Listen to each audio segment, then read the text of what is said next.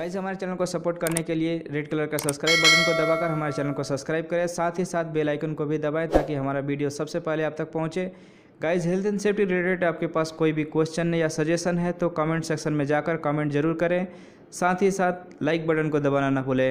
And thanks for watching my video